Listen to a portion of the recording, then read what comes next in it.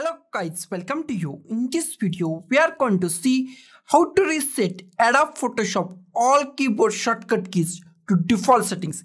If your Ctrl C is not working, Ctrl Z is not working or any shortcut key, there are many shortcut keys in the Adobe Photoshop. If any shortcut key is not working, then you can use this method and fix your problem. It is a very easy and simple method. So let's go. First, I show you a manual manual way to reset that particular uh, shortcut key or just reset all shortcut keys by the simple one click setting okay?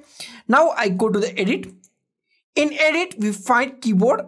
Go to the edit. In edit we find keyboard shortcuts. Click on the keyboard shortcuts. In keyboard shortcut if you want to manually change then go to the here edit or just go to the here shortcuts for and go to the tools application menu okay? I go to the edit. In application menu i go to the edit. Here we find undo. Undo is control z.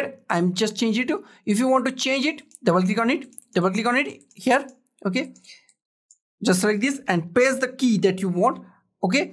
And just save it okay? Accept it and click on okay. I don't want to change it so i go to the control z once again and select this and control Z. Okay. The another simple way is go to the here. Here we find set. It is set to the new settings. Okay. Click at here.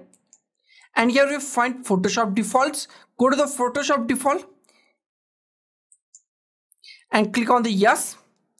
Now we find our all settings are changed. Now just click on OK. Now we can find our Control C and Control V is working control Z is working and all keys are now working. So guys, this is the simplest way to reset Adobe Photoshop all keyboard shortcut keys to default settings in Adobe Photoshop. So guys, thank you for watching this video. Don't forget to like, share, comment on this video and don't forget to subscribe the channel. Thank you guys.